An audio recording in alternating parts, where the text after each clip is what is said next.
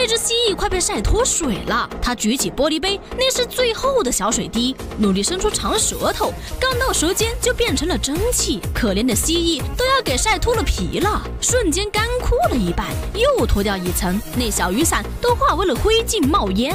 为了活下去，它在沙漠中寻找水源。突然，天空飞来一只老鹰，吓得他六神无主，寻找掩护，却被扎得大声惨叫，伪装成仙人掌，但刺太少。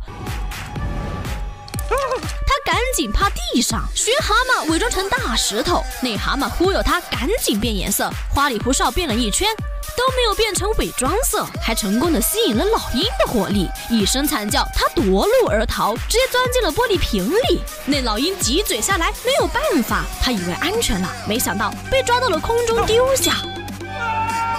扑哧一声砸蛤蟆背上，气得蛤蟆破口大骂。老鹰扑来，吓得站起来就跑，都忘了自己居然会跳。扑哧一声，那玻璃瓶碎了，惹得蛤蟆大笑。下一秒被叼走，沦为了食物。而就在不久前，蜥蜴还是娇生惯养的宠物，结果铲屎官一个操作失误，直接把它甩了出去。扑哧一声碎裂，躺地上直接摩擦出两里地。那高温给蜥蜴烤得够呛。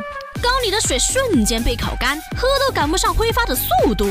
刚躲过老鹰的攻击，可抬头又撞上了枪口。原来遇到了同类小美，他长得绝世美颜，一开口竟是个结巴。蜥蜴跟他来到陌生的小镇，先跟跳蚤学走路，再跟秃鹫走残疾的步伐，迈着六亲不认的姿势走进了酒吧。但里面的人都不是啥善茬，但蜥蜴没有怂，当即发挥表演天赋，张嘴就是天王盖地虎，宝塔镇河妖，给所有妖精都给吓住了。他本想忽悠点水喝，却。不知道水在小镇里也是稀缺资源，镇民都把水当钞票存银行，想供孩子上学改变命运。但谁也没想到，银行里的水无缘无故失踪了，小镇即将迎来大麻烦了。这一群村霸闯进了酒馆，那大哥滋溜一口，下一秒还吞云吐雾。蜥蜴虽然害怕，但气势可不能丢，抢过雪茄就塞嘴里，弹小指头，眼看要背不住了。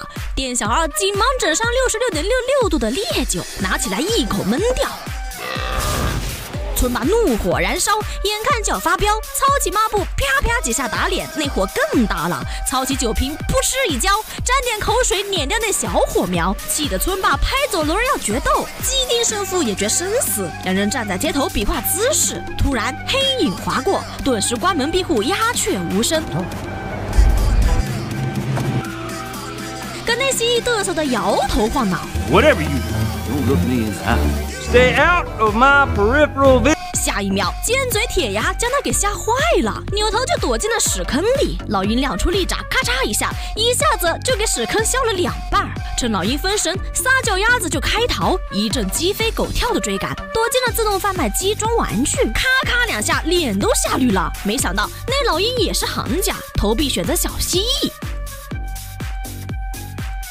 老鹰伸头查看，蜥蜴又逃跑了。可没跑几米就吊住绳子，他拔枪对着绳子射击，那子弹噗噗乱弹，哭哧一声。那老鹰饮恨黄泉，经此一战，蜥蜴扬名立万，成了小镇的英雄。那镇长亲自任命他为治安官，拥有在放水日优先喝水的特权。没想刚碰小碗走上前，结果一头淤泥糊面，那水管竟然没水了。镇民瞬间打乱，要跟银行提现。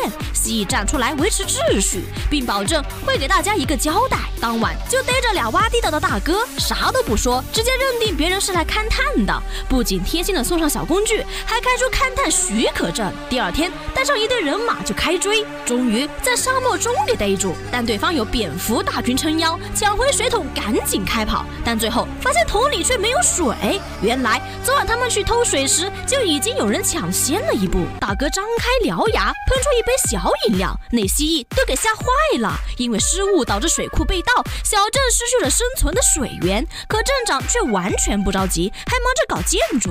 而蜥蜴发现镇长鞋底有泥，蜥蜴和小美分析是镇长在搞鬼。而镇长请来了恶霸蛇哥，说对付蜥蜴，蜥蜴的光辉事迹都是编的，当场就给赶出了小镇。在镇民们失望的眼神中离开了。他在沙漠中遇到了求雨老头，这才知道这里原本是一片湖泊，可现在全都干喝一片。他跟随着植物寻找水源，看到远处的城市，才明白镇长控制水源是为了低价收购镇民的土地。